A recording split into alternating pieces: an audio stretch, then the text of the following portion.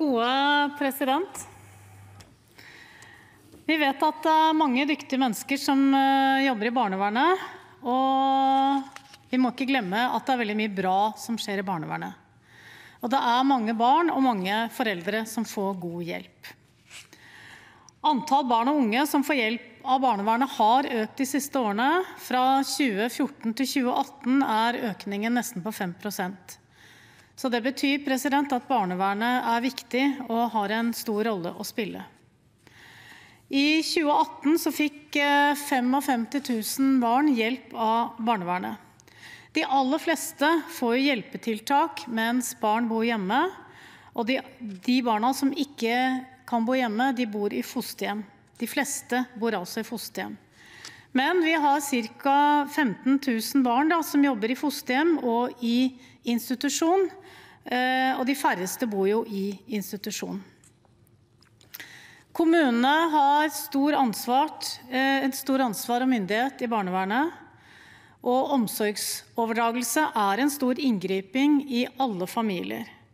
Og det er vel ikke tvil om at eh, vi mener at kommunene må settes i stand til å forvalte denne myndigheten noe bedre. For vi vet at det er stor variasjon mellom barnevernstjenestene i kommunene.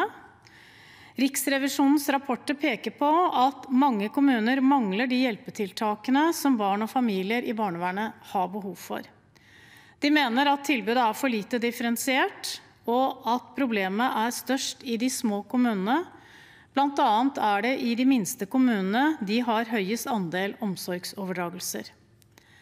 Den siste rapporten for Riksrevisjonen slo fast at barn opplever ikke å bli hørt, og det er heller ikke mulighet til å klage på tjenester som de mottar av barnevernet.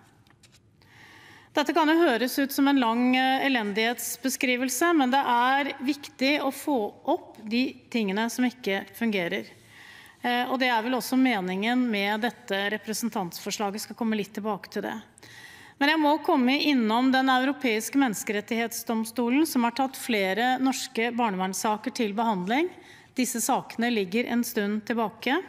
Og domstolen har vist til at begrunnelsene for valg av tiltak de har ikke vært tilstrekkelig, og det har ikke blitt lagt tilstrekkelig til rette for at barn kan gjenforenes med foreldrene. Departementet de foretar nå en gjennomgang av disse sakene. Så har eh, Senterpartiet fremmet et forslag om å nedsette en uavhengig eh, granskingskommisjon eller utvalg. På høringen viste, viste, det seg at det ikke var en eh, stor støtte til det, nettopp fordi vi har mange rapporter. Det ble nevnt fra representanten fra SV å reise er å vaske øynene, som er departementets egen rapport. Gjennomgang av 106 saker av omsorgsoverdragelser som viser at vi har en stor jobb å gjøre. Og regjeringen har jo også annonsert at de vil sette ned en NOU, altså et norsk offentlig utredning av institusjonsbarnevernet, men også som går bredere enn det. Vi har jo også fått, etter at uh, dette representantforslaget kom opp, uh, så vedtok jo Stortinget å nedsette et eh, ekspertutvalg som skal gjennomgå rettssikkerheten i alle ledd av tjenesten, med utgangspunkt i hva som er barnets beste. Så sånn sett eh, har vi mange eh, utredninger og oppdrag på gang, og det var vel ikke stemning for at vi skulle ha nok en utredning. Vi må, som har vært sagt fra talerstolen her, ha handling. Jeg har lyst til å gi ros til eh, det som kom frem i høringen om dette forslaget om gransking fra barnevernet fra FO, Fagforbundet, barnevernspedagogene i Akademikerforbundet og KS.